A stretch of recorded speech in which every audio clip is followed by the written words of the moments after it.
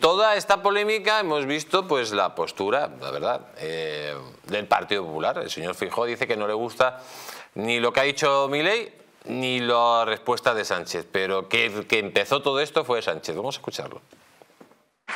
Lo vemos también con el conflicto iniciado por el Gobierno de España con el Gobierno argentino, al que también quiero referirme antes de terminar.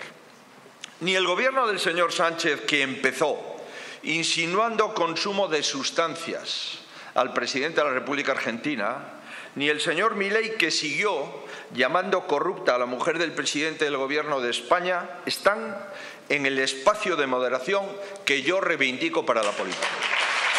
Esta escalada verbal no conduce a ninguna parte y a mí, desde luego, no me representa, en ningún caso. Porque lo que ha hecho el señor Milei es solo una muestra de lo que el Gobierno hace todos los días contra todo el mundo que no piensa igual que ellos. Con el máximo respeto, Creo que Sánchez no está para dar lecciones de diplomacia teniendo en cuenta que su gobierno empezó todo esto haciendo exactamente lo mismo que hoy denuncia, con una sobreactuación, por cierto, absolutamente impropia. Creo que a este gobierno se le puede criticar y pedir todas las explicaciones que deba dar, con otras formas y de otra manera. Pero, desde luego, tampoco voy a aceptar las lecciones de este Gobierno, que hace lo mismo cada día y nos pretende convencer, además, que Sánchez es el Estado. Pues ahí tenemos eh, las declaraciones del señor Feijóo, pero yo creo que le falta algo, hay algo diferente, es que están diciendo a mi ley que es un drogadicto, ¿vale? sin ninguna prueba, y aquí hay graves indicios, gravísimos indicios, de que la mujer de Pedro Sánchez es una presunta corrupta. Es que esa es la gran diferencia entre lo que uno dice es verdad y lo que dicen los otros no. Bueno, es que... O presuntamente verdad. Exactamente.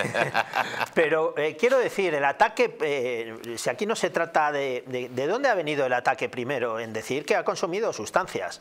Eh, señor Oscar Puente, yo no voy a, no entro en, esa, en esas cuestiones, lo que pasa es que le falta a usted un poco más de inteligencia en, en, opinar, en decir o en, o en expresar lo que, quiere, lo que quiere decir. Lo que quiere decir que es que mi ley puede actuar como un caballo desbocado, a usted le gustará más o menos, a mí me gustará más o menos, pero usted no puede decir que ha consumido sustancias, evidentemente. Pero eh, eh, lo que sí tenemos sobre la mesa son los puede decir que está en contra de la libertad, ¿eh? cuando es el presidente argentino más... Eso ya es más grave. Eso ya y que si es un fascista, y que si...